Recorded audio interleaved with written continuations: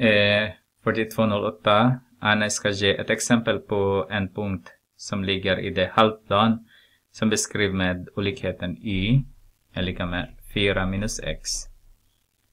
Eh, förklara för Anna hur hon kan göra detta utan att göra en grafisk lösning, det vill säga utan att rita och titta i ett koordinatsystem.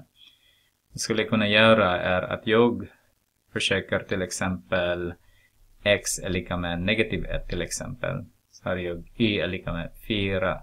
Så det här med nej ska det vara större än, inte lika med, större än.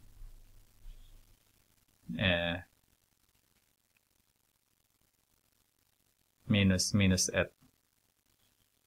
Eh, minus minus 1 så har jag y är större än 5.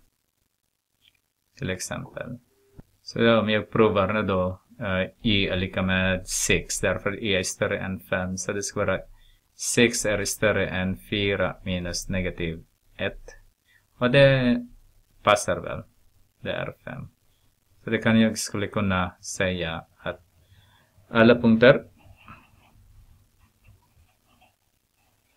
som ligger i till exempel vi kan välja negativ 1 och 6 till exempel. Och provar vi eh, x är lika med 5 till exempel så har vi y är större än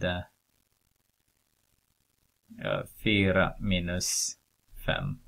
Så har vi y är större än negativ 1. Ja, jag gick bara. Och sen större än negativ 1 så har vi, vi provar 0. 0 är större än, provar y e är lika med 0.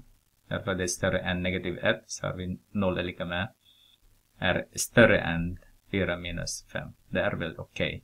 Så kan vi skriva den här punkten också. 5 och eh, 0 kan vi skriva.